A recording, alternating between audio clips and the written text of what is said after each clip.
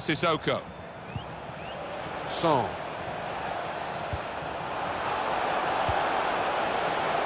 Well played. Space to try and hit it now.